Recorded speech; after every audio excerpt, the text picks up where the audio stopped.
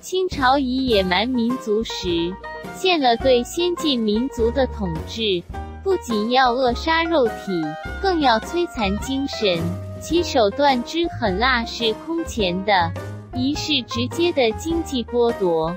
圈地，圈地运动不光英国有，清军入关后也有，前后三次。顺治元年十二月下令圈占无主荒田，安置八旗军士。京师周边哪有无主荒地？因为主已经在战争中流离失所。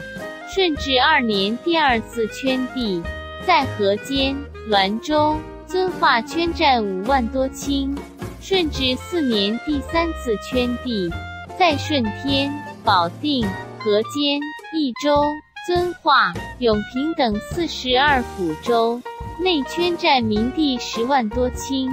每次圈地都是因为入关的满族人越来越多，幸亏满族总人口不足百万。否则情况更为严重。经过圈地运动，京师周边的前明皇室、贵族、地主、百姓的财产被剥夺殆尽，甚至被迫离开家园。第二是肉体剥夺。剃法。一六四五年六月，清廷颁布剃法令，目的是改变生活习惯和习俗。消除明朝印记，因此江南人民爆发了多处起义。江阴人民抗清八十一天，消灭清军三王十八将，七万五千多人。清军进城后疯狂屠杀报复，十七万两千余人全部被杀。嘉定对抗十万清兵，举行三次起义，是历史上最残酷的。